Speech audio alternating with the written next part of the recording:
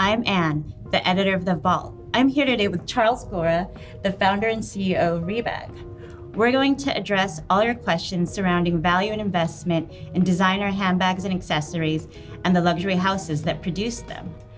Hi, Charles. How are you doing today? Hey, Anne. Good. Great to be here. Thank you.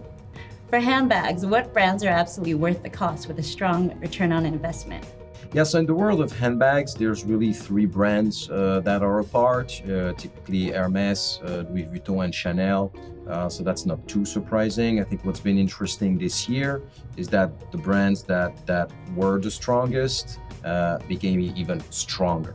So uh, if you look at Hermes, for instance, it's now trading on average at 90% uh, of retail, which is about 10% more than, than, than last year in terms of movements. A lot of that being powered by things like the, the Birkin and, and the Kelly, uh, obviously. Uh, interestingly, Louis Vuitton had a, a, great year. We saw a massive increase there, uh, now trading at 80% uh, on average. Uh, on its retail value, uh, with some models, frankly, being deeply over over retail.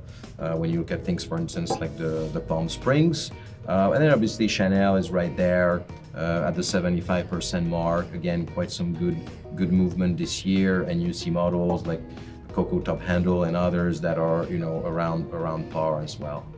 Aside from the regular top performers, were there any other brands that have increased in value? Absolutely. So this year uh, we saw some some uh, great push by Bottega.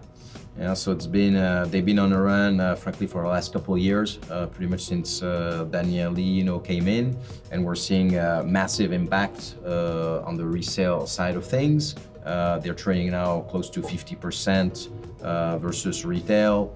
Two years ago, they were just under the 30% mark, so it's it's a very significant movement. Wow, so Daniel Lee's really turning Bottega Veneta into the next luxury darling.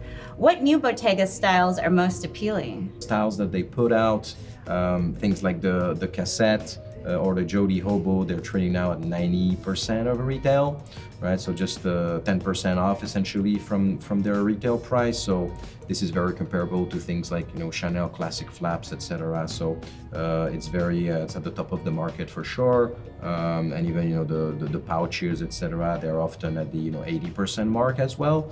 So if you're, if you're buying Bottega, you're, you're for sure making a great investment right now. That's really impressive. Let's talk about the value of timepieces in fine jewelry. What brands and models are the top performers in those areas? Yeah, so this is this is new for us. Uh, we started carrying uh, timepieces and, and jewelry uh, about a year ago now, so we do we do have this data. Uh, in the world of jewelry, uh, Van Cleef uh, is sort of the Hermes equivalent in the jewelry world, you could say. Pretty close to retail value, you know, 95% on average.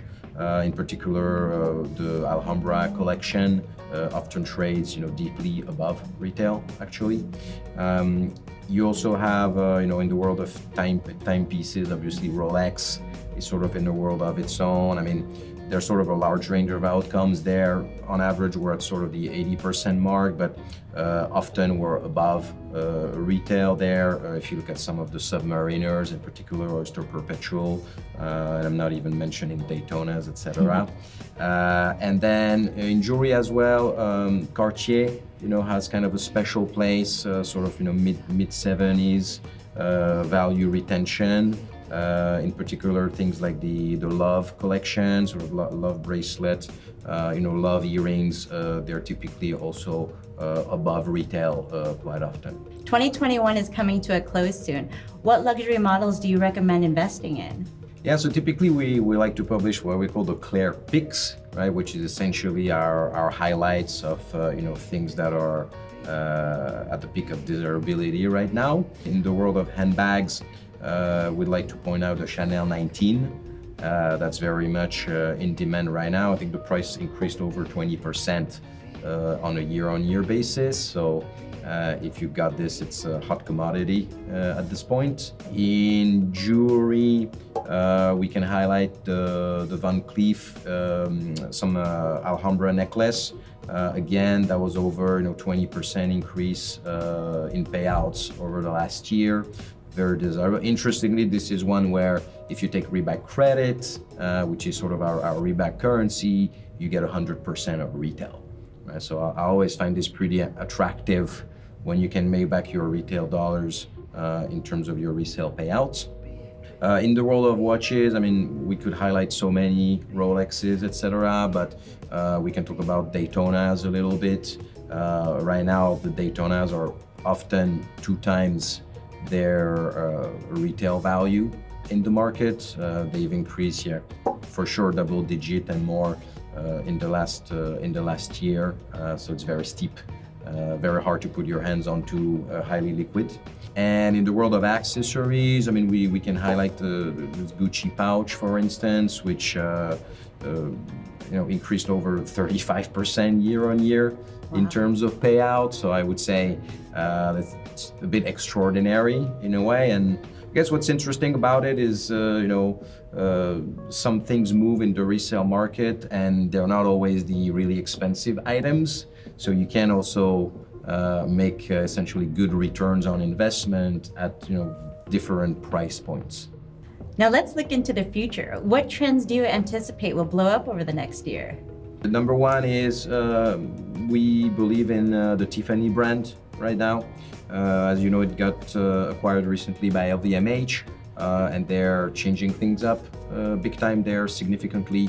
Uh, we think they're they're gonna have a lot of impact, especially when they bring their their own playbook to the brand. They've they started hiring now, you know, Jay Z and. Uh, uh, you know, Beyonce for, for an ad campaign. They did this other ad campaign on Not, Not Your Mother, Tiffany's, to appeal to a younger generation. So we think uh, a lot of upside in Tiffany brand right now. In the world of leather goods, uh, I would say we're still big believers in Daniel Lee's work at Bottega. Um, there's been a, a, favorable trend for sure over the last couple years, and we think that's going to continue. Um, there, there is a path where in the next uh, few years, or sort of in the short to medium term, that the, the Bottega leather goods become uh, somehow comparable to you know Chanel or, or, or Louis Vuitton. So we see a, a lot of uh, momentum there. Um, and then in watches, I mean, there's obviously this debate on uh, the watch inflation uh, at least timepieces uh, that's going on right now. To be honest, we don't see that stopping uh, imminently. Uh, you know, we're, we're in a world where you know, interest rates are low and, and liquidity is somehow available. And uh, I think there's a lot of that that's fueling that inflation in terms of these hard assets.